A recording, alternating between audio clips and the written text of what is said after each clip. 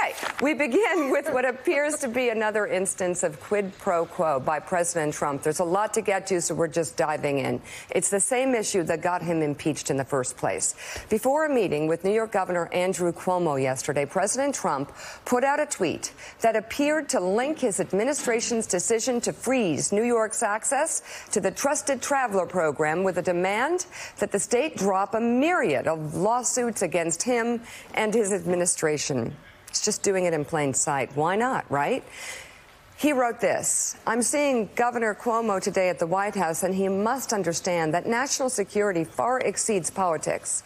New York must stop all of its unnecessary lawsuits and harassment, start cleaning itself up, and lowering taxes. Yeah. New York's Attorney General Letitia James has issued a subpoena for Trump's financial records and has filed a number of lawsuits against the Trump administration and the Trump organization.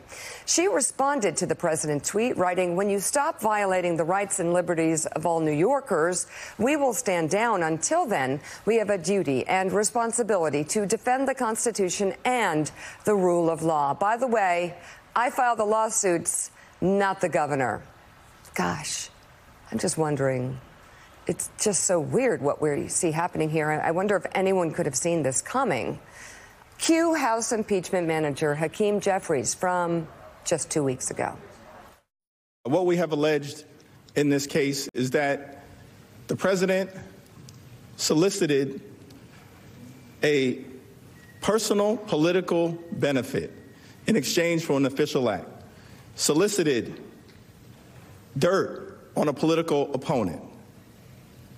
In exchange for the release of $391 million in military aid, solicited dirt in exchange for a White House meeting. And if this Senate were to say that's acceptable, then precisely as was outlined in that question could take place all across America in the context of the next election and any election grants allocated to cities or towns or municipalities across the country. But the president could say, You're not going to get that money, Mr. Mayor, Mrs. County Executive, Mrs. Town Supervisor, unless you endorse me for reelection. The president could say that to any governor of our 50 states. That's unacceptable. That cannot be allowed to happen in our democratic republic. Chuck Rosenberg, it seemed so ludicrous when Hakeem Jeffries made that example of what potentially could happen. And yet, as of yesterday, it has. What's the recourse? What's your take moving forward? Well, first of all, uh, you know, it's not that hard to predict that the president will be illogical and petulant, uh, Mika. And by the way, I don't know if you can put his tweet back up, mm-hmm. but there is an, a, a rank inconsistency within it. First, he says that national security is much more important than politics. And in the very next sentence, there's the rank politics, right? In the very next sentence, after talking about the primacy of national security, there comes the threat. If he doesn't get what he wants, a cessation uh, to the lawsuits that have been filed against him and his organizations by New York State, then he's going to exact revenge. Uh, Mr. Jeffries was spot on. Mm-hmm. I give him some credit for that. Uh, but this has been a pattern that we have seen over and over and over again, and I think it's deeply disturbing. So, Jonathan Lemire, uh, so much has happened. Uh, we started with this. There are many other things that happened yesterday that we could have started with given the Attorney General's comments later in the day, which we'll get to. But um, we've got a situation now where the government uh, president's appearing to be issuing quid pro quos in real time on Twitter.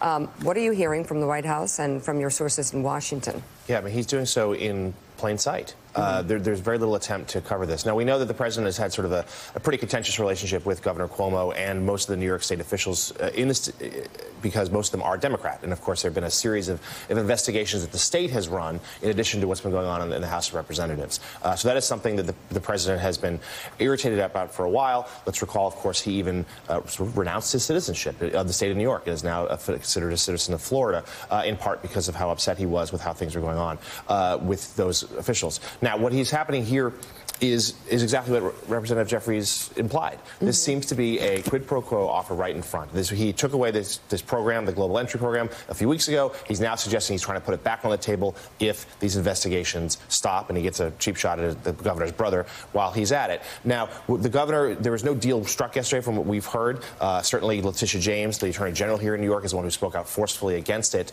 Uh, but this is also a window into how the president's feeling right now, post impeachment, yeah. completely emboldened, unchecked. We saw what's happened in the few days after that verdict.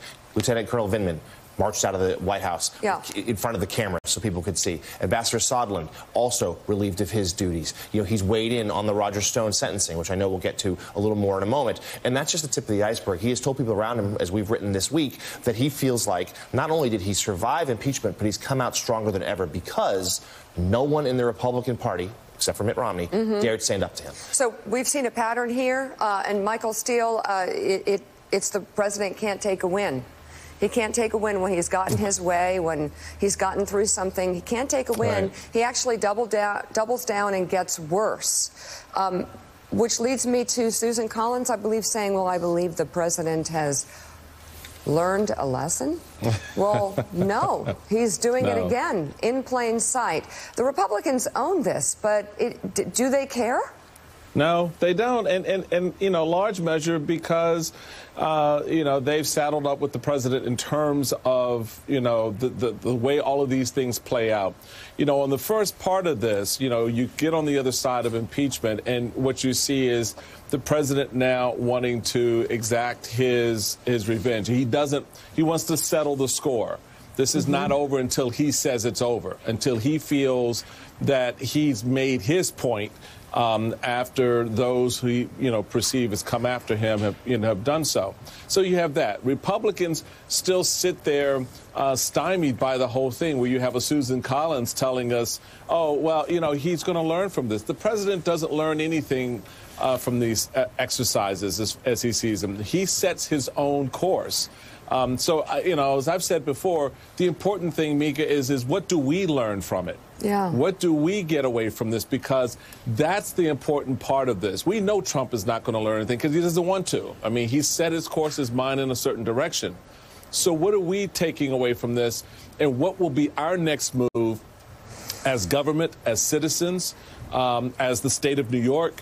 Uh, and, and, and, how do we now uh, adapt on this uh, playing field, if you will, to what the president is doing with the with the you know the perp walks of of career uh, soldiers uh, yeah. from from service, et cetera.